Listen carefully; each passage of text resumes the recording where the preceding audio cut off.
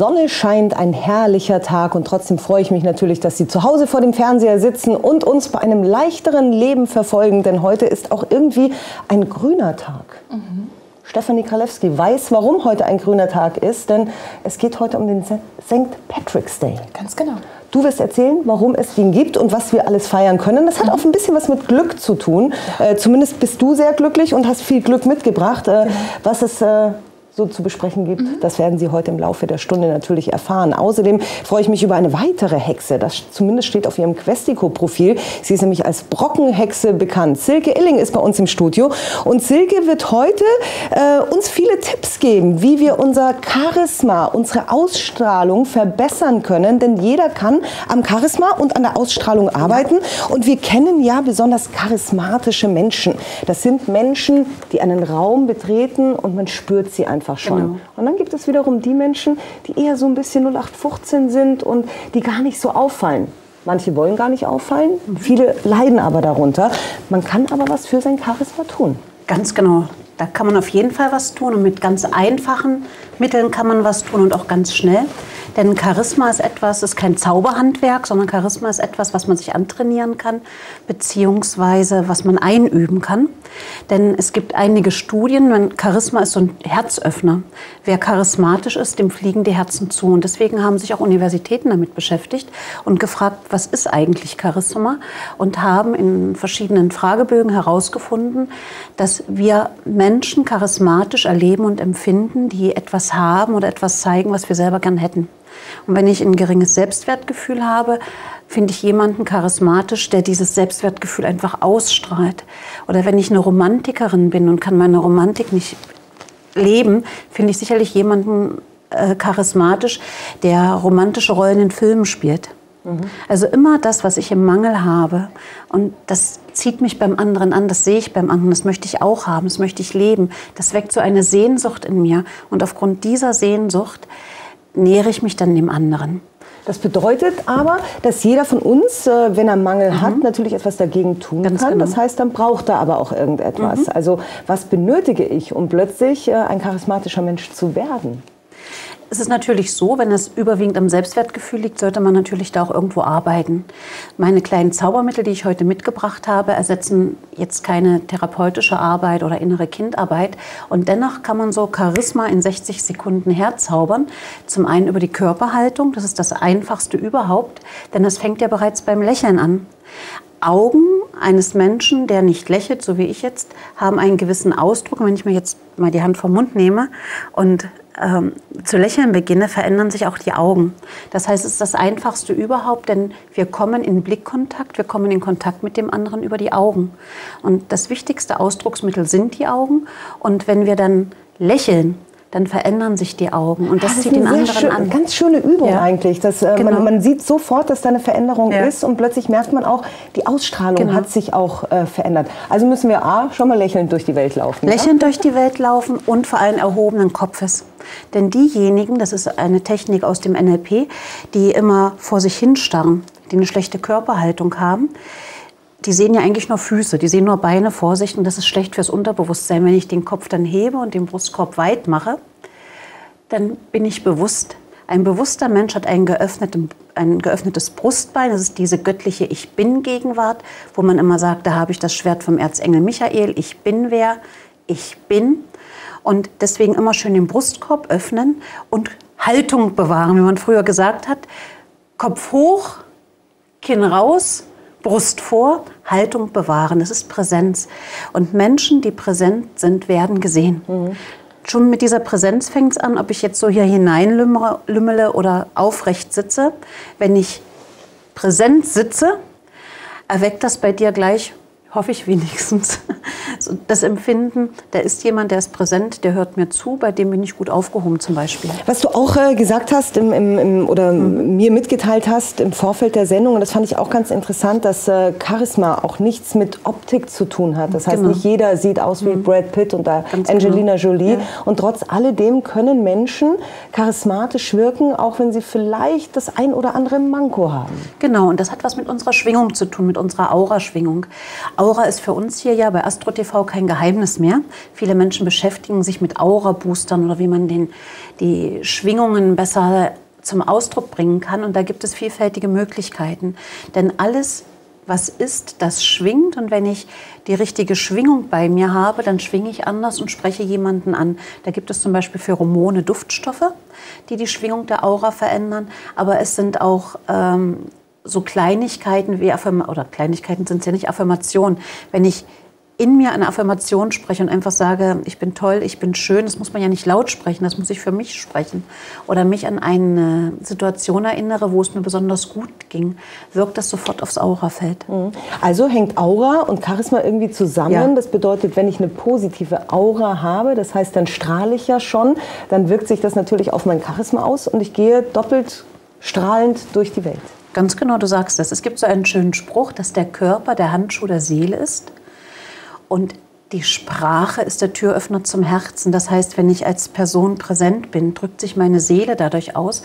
Und jemand, der beseelt ist und der beseelt lebt, der wird von den anderen wahrgenommen, weil wir alle eine Sehnsucht danach haben, mit unserer eigenen Seele im Kontakt zu sein. Aber vielleicht auch Ängste. Das bedeutet, mhm. ich muss mich natürlich auch gewissen Ängsten stellen. Das kennt man von Phobien, mhm. die die Flugangst haben, ja. die eine Spinnenphobie haben, setzen sich mit dem Thema mhm. auseinander. Das heißt, müssen die Spinne irgendwann mal auf mhm. der Hand halten können, um zu merken, so schlimm ist es gar nicht. Das bedeutet, was kann derjenige machen, der vielleicht am Charisma einen Mangel hat? Es ist so, wenn wir uns mit unseren Ängsten konfrontieren und da durchgehen, durch welche Therapiemethode oder Technik auch immer, oder sei es Homöopathie, Akupunktur, es verändert ja etwas in uns. Es ist eine Erfahrung, die wir machen. Durch diese Erfahrung greifen wir und diese Erfahrung wird uns immer verändern. Mhm. Das heißt, jede Erfahrung im Leben, wird die nun gut oder schlecht bewertet, verändert uns immer, verändert immer unser Lichtfeld. Ich sehe die Aura seit meiner Kindheit und da bin ich deswegen auch auf die Idee gekommen, die Aura zu boostern mit kleinen Mittelchen, weil ich erlebt habe, dass wirklich geringfügige Einflüsse im Äußeren, auch geringfügige Einflüsse im Denken oder im Fühlen wirklich das Aurabild grundsätzlich unterscheiden? Das äh, mit dem Aura, äh, das ist natürlich eine Geschichte, mhm. die du schon seit Kindheit ja. siehst, ohne dass äh, vielleicht genau. der eine oder andere auch dieses gleiche Talent hat. Aber es gibt ja mittlerweile die Aura-Fotografie. Mhm, genau. Das heißt, man kann sie auf Bild festhalten. Und du hast heute mal zwei Bilder mitgebracht, genau. wo man wirklich auch eine Veränderung der Aura sehen kann durch ein gewisses Hilfsmittel. Genau, es gibt also verschiedene Hilfsmittel, die Aura schöner zu machen leuchten und strahlen zu lassen. Und hier habe ich jetzt mit Diamanten natürlich, ich habe ja den Diamantshop bei Astro TV gehabt, äh, mit Diamanten gearbeitet. Hier hatte ich mein Aurabild machen lassen ohne Diamanten und dann habe ich mir den Diamantanhänger umgemacht damals und habe dann zehn Minuten gewartet nicht. Das Umgekehrt. ist ohne. Umgekehrt, genau. genau. Zehn Minuten gewartet. Und da sieht man, die war vorher schon nicht schlecht, aber die ist nochmal richtig aufgegangen. Das, was man hier gelb sieht, das kann der Computer nicht umrechnen. Das ist eigentlich goldene Schwingung. Goldenes Licht ist die höchste Präsenz vom Licht.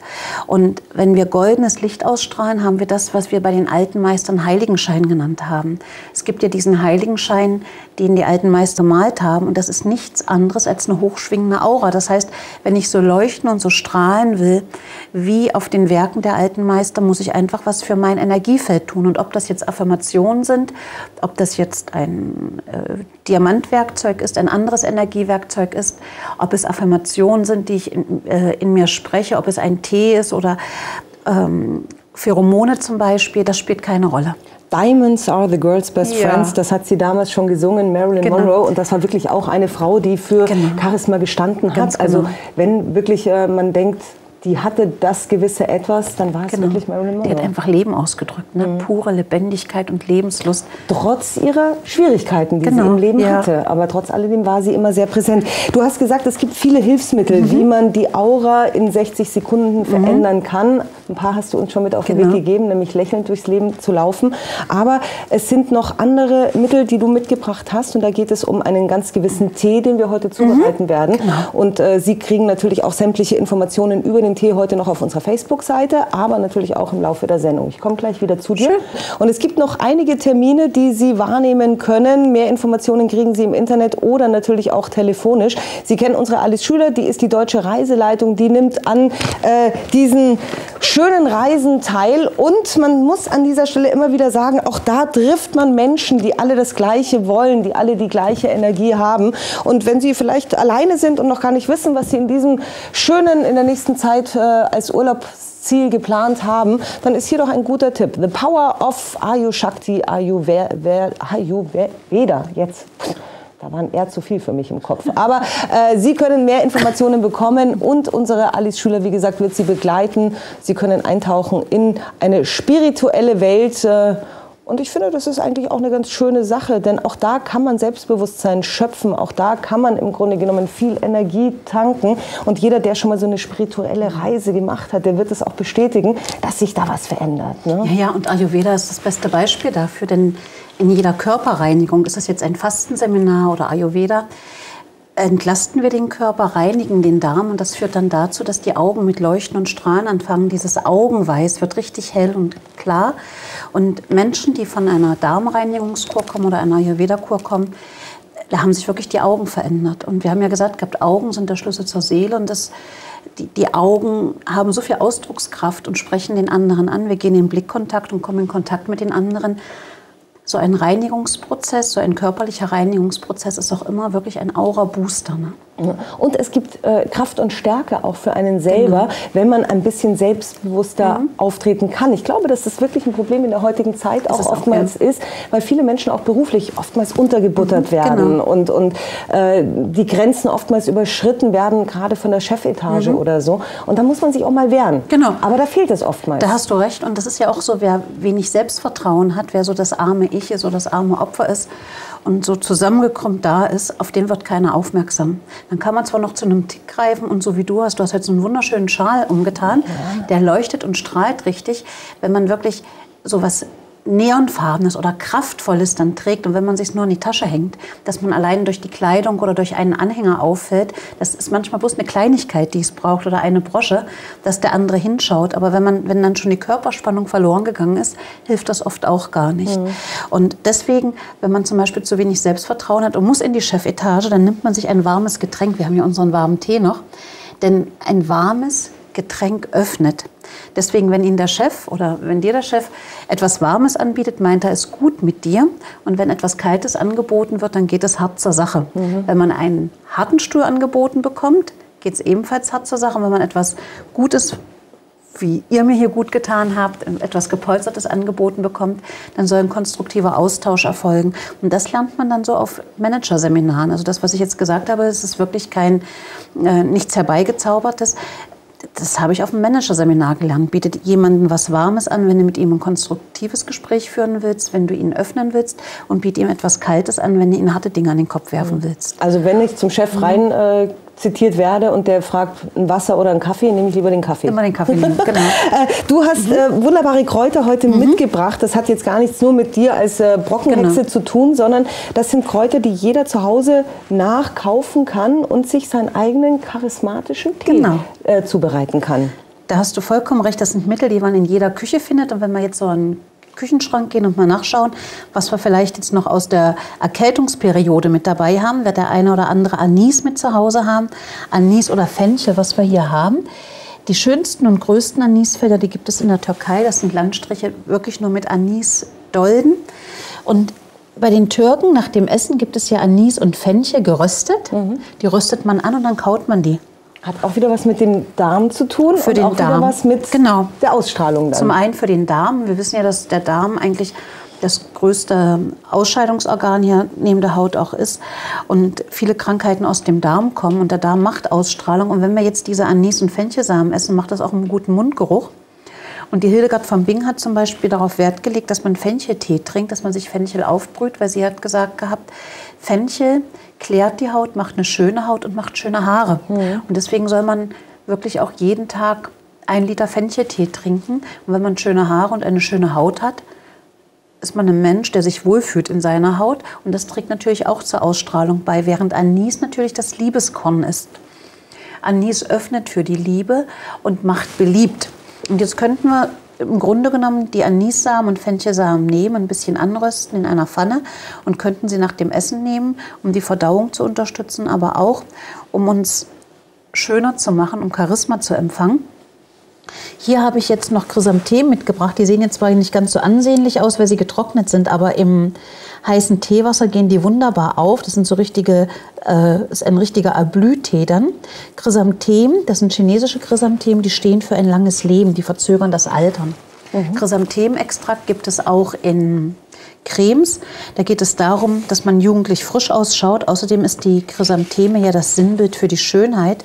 Dann habe ich noch Rosen mitgebracht. Die stehen auch auf dem Zettel drauf, den du da gerade hältst. Rosen sind natürlich das, das Kraut oder die Pflanze, die Blume der Liebe. Da muss man mit Rosen aufpassen, wenn man die in die Teereihe macht, weil die leicht etwas bitter sind, wenn man zu viel drauf okay. tut. Ne?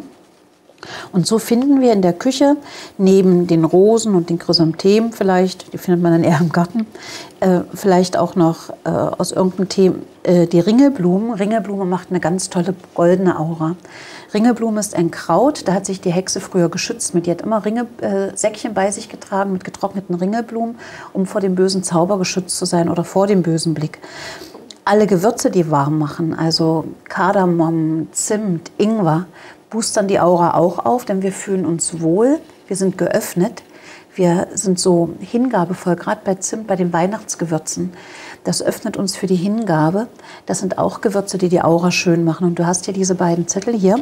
Da stehen noch einige Rezepte drauf, Tees und Gewürze, die man sich zulegen kann oder zubereiten kann, damit man dann innerhalb von wenigen Minuten, wenn man den Tee dann getrunken hat, für eine gewisse Zeit dann, wie gesagt, ein schönes Lichtfeld, ein schönes Energiefeld auch hat. Ja, ein kleines Schutzschild ja. vielleicht auch und man spürt es dann. Mhm. Äh, diese Rezepte laden wir gleich äh, später noch mhm. äh, auf unserer Facebook-Seite hoch. Also Sie sollten auf jeden Fall heute mal vorbeischauen und wenn Sie noch nicht auf unserer Seite waren, dann merken Sie heute wieder, es lohnt sich, denn es werden ganz oft unsere Rezepte natürlich veröffentlicht, viele gute Tipps, die man mhm. bekommt. Man erfährt viel über euch ja. als Gäste. Also schauen Sie mal vorbei bei Leichter Leben und wenn Sie auf unserer Seite sind, dann drücken Sie doch auch gefällt mir, weil dann bekommen Sie automatisch jeden Tag natürlich sämtliche mhm. Informationen über ja, euch, aber natürlich auch über tolle Sachen. Denn äh, selbst Tee, warmen Tee kann man auch mhm. gut im Sommer trinken. Also wir wollen ja jetzt alle, dass es warm wird. Ganz auch genau. da schreit der Körper nach Wärme. Und zwar von außen, aber genau. wir können uns auch die innere Wärme und Es gibt holen. ja im Sommer dann zum Beispiel der Pfefferminztee oder der Nahneminztee, der den Körper sogar abkühlt. Und Kräuter sind immer gut. Kräuter ähm, haben Vitalstoffe, die der Körper auch braucht. Und ich habe hier unseren Charisma-Tee schon vorbereitet. Den habe ich nämlich vorhin schon ziehen lassen, weil das Studio so klein ist. Da hätten wir jetzt mit dem Wasserkocher gar nicht anfangen können. Jetzt genehmigen wir uns einfach mal so einen Aura-Tee, so einen Charisma-Tee. Genau. Den hatte ich dann auch schon gefiltert. Das Schöne ist auch heute, du wirst nämlich mhm. so einen ähm, eigenen Silke Illing äh, Charisma Tee herstellen, äh, den genau. unsere Zuschauer heute bekommen können. Genau. Auch, ne? Ich würde dann sagen, das, was ich noch über habe, ich habe auch ähm, hier schon ein paar ähm, Pflanzen oder hier Rosenblüten, ein bisschen Kon, äh, äh, Kornblüten habe ich klein gemacht. Das mische ich dann noch zusammen. Das schmeckt sehr außergewöhnlich. Ja, da ist auch noch Vanille drin, weil mhm. Vanille ist auch ein wichtiger Extrakt, um die Aura zum Leuchten und zum Strahlen zu bringen, weil die Aura, ähm, Vanille gibt Selbstbewusstsein. Wie lange muss der Tee dann ziehen? Also vom Kräutertee sagt man immer sieben Minuten sowas? Genau, aber was viele Menschen falsch machen, wenn es sich um einen reinen Kräutertee handelt, man wirft immer wirklich recht viel rein. Und es reicht oft wirklich so eine Handvoll, die man sich dann äh, rausnimmt und wo man dann wirklich auf einen halben Liter Wasser tut, der muss gar nicht so dick sein. Mhm. Ne, man kann also auch mit Teebeuteln zweimal aufbrühen, das machen viele Menschen sowieso, weil da einfach so viel Extrakte drin sind und er eigentlich dünn noch besser schmeckt. Da kommen die Aromen noch mehr raus, als wenn man jetzt den Tee wirklich äh, in großen Mengen kocht. Da ist der dann oft einfach auch dick und einfach viel zu kräftig, um dann auch die feinen Nuancen zu merken. Mir schmeckt er sehr, sehr gut und vor allem das Schöne ist, dass unsere Zuschauer diesen Tee auch oh, nach lecker. Hause äh, bekommen ja. können, denn äh, Silke macht ihre eigene kleine charismatische Teezubereitung gleich bei uns und dieses Paket, das können Sie genau. heute gewinnen in unserer Verlosung. Allerdings wollen wir natürlich wie immer auch heute wieder eine Frage beantwortet bekommen. Und zwar wollen wir heute wissen, über welches Thema sprechen wir eigentlich? Ja, da mussten Sie mal ein bisschen zuhören. Ist es A, Charisma oder sind es B, äh, Kartoffelchips? Äh, äh ich gehe nochmal rüber zu unserer Silke Illing, denn äh, mit aufrechtem Gang kann man einiges dafür tun, dass man charismatischer wirkt. Und wir gehen jetzt in eine Zeit,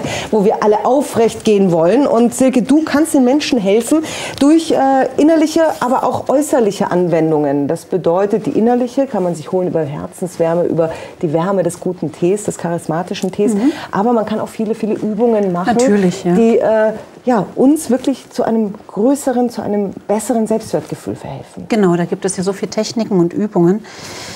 Oft ist es allerdings auch so, wenn unser Selbstwertgefühl zusammenfällt, braucht man ganz schnell was so SOS-Übungen oder SOS-Techniken, weil es einfach so ist, dass alle therapeutische Arbeit oder alle spirituelle Arbeit, die darauf hinzieht, dass das Selbstwertgefühl nachhaltig gesteigert wird, die ist ja in dem Moment nicht greifbar.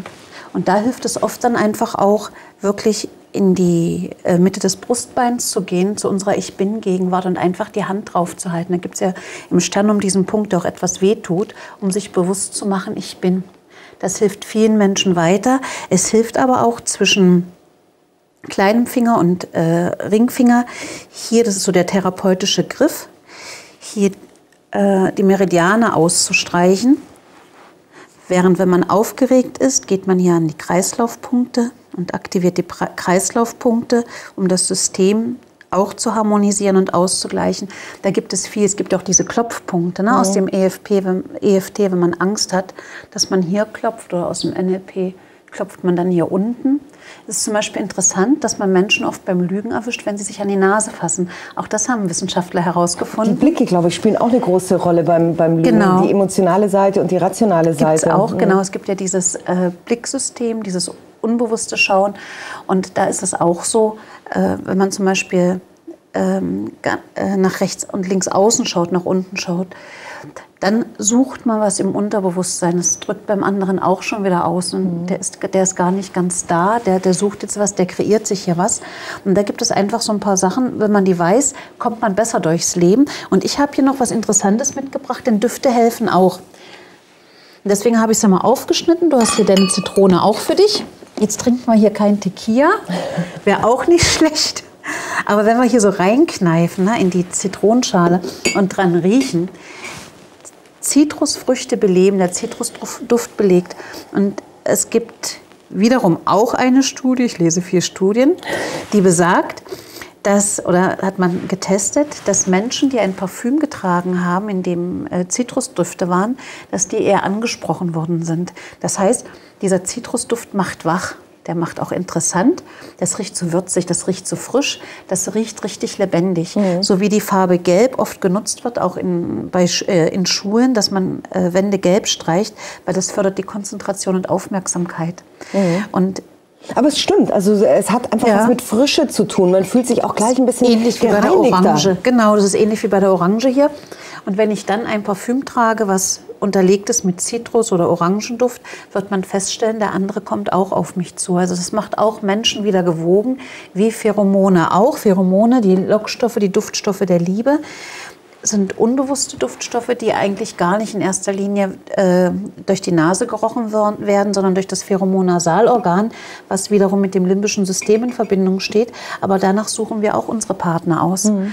Und wenn ich dann mich vielleicht kleide mit, einem, mit etwas, was ein bisschen mehr auffällt und dann auch einen Zitronenduft habe zum Beispiel, dann habe ich schon viel gewonnen. Und wenn ich dann mit stolz geschwellter Brust oder einfach etwas achtsamer dahergehe und ähm, wie du es vorhin gesagt hast, vielleicht auch so mein, mein Handschmeichler habe oder mein, mein Schlüssel in der Hand, wo ich mich dran festhalten kann, komme ich besser durch den Alltag. Mhm. Ja, man fühlt sich ja. gestärkter. Man braucht natürlich aber auch ein bisschen Mut. Wenn ich immer das kleine Stimmt, graue ja. Mäuschen war, dann werde ich nicht von heute auf morgen der elegante Schwan, aber ich kann ja. es Stück für Stück schaffen und mich Ganz aus genau. dieser Misere rauslösen. Da gibt es Gott sei Dank Hilfestellungen. Da mhm, gibt es Hilfestellungen genau. auch über dich, äh, liebe Silke, denn du, auch du bist über äh, mhm. Questico mhm. zu erreichen mit vielen wertvollen Tipps. Denn äh, heutzutage, glaube ich, ist man, wenn man als Berater arbeitet, eben nicht mehr nur derjenige, der in die Zukunft schaut, sondern derjenige, der einem einfach auch mit vielen unterstützenden Hilfsmitteln zur Seite steht. Ja, und das muss ich wirklich sagen.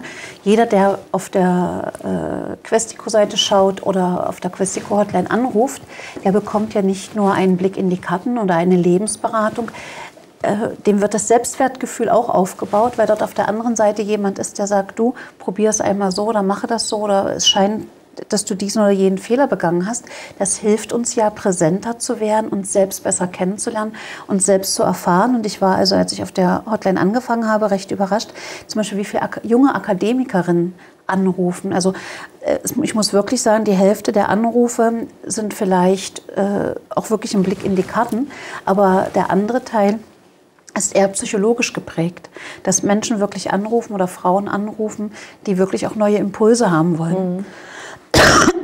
Aber das ist genau das äh, Schöne eigentlich daran, nämlich, dass man irgendwie jemanden hat, der einem ein bisschen größeren Input gibt. Und das sind immer so Kleinig genau. Kleinigkeiten, die einem aber weiterhelfen mhm. können. Das sind so, wie du heute äh, die kleine Übung gemacht hast. Stellen mhm. Sie sich selber mal zu Hause heute doch vor den Spiegel und gucken Sie mal, wie Sie sich selber verändern, wenn Sie lachen und halten Sie sich den Mund ja, zu. Genau. Sie werden einfach diesen Ausdruck der Augen plötzlich als viel angenehmer ja. wahrnehmen. Und es sind so Kleinigkeiten im Leben, die uns aber weiterhelfen können. Und dafür ist es genau. super, dass es euch gibt, finde ich.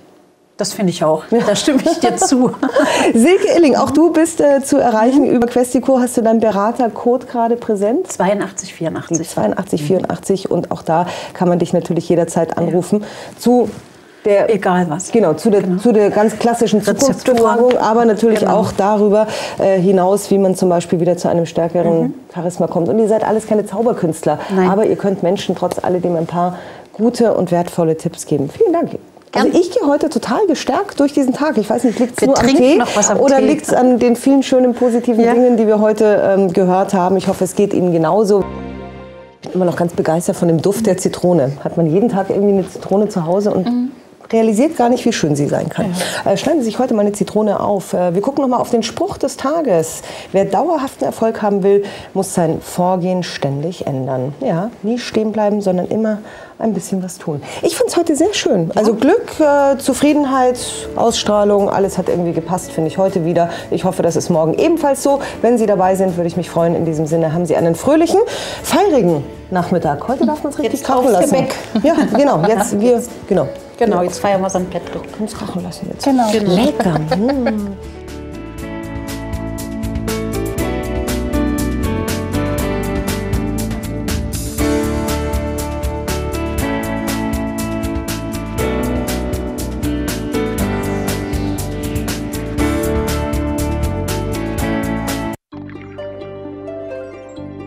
Das international renommierte Ayurveda-Institut Ayushakti sendet zwei seiner Experten nach München. Und zwar in der Zeit vom 26. bis 31. März 2015.